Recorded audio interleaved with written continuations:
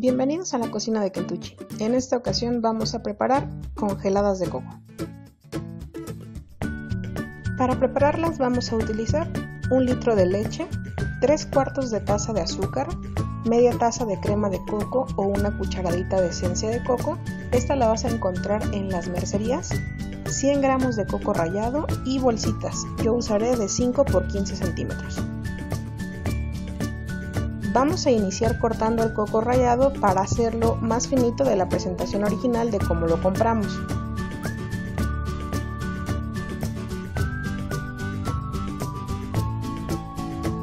En un recipiente a fuego medio vamos a poner la leche, el azúcar, la crema de coco y el coco rallado y mezclaremos para incorporar todo perfectamente.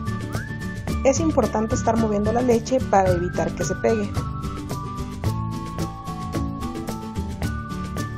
Las congeladas también son conocidas con otros nombres dependiendo del lugar. Por ejemplo, en Guadalajara las conocen como bolis, en varios municipios de Veracruz las llaman hielitos o cubitos, en Cancún son saborines. Déjame en los comentarios cómo es que las conoces tú.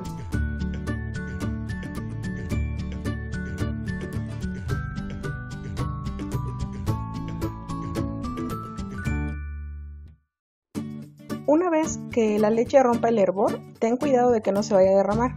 Dejaremos que se enfríe para poder envasarla. Ya estando la leche a cierta temperatura que la puedas manipular, vamos a comenzar. Yo me ayudo a envasar con la boquita de una botella que corté para que sea más fácil y rápido.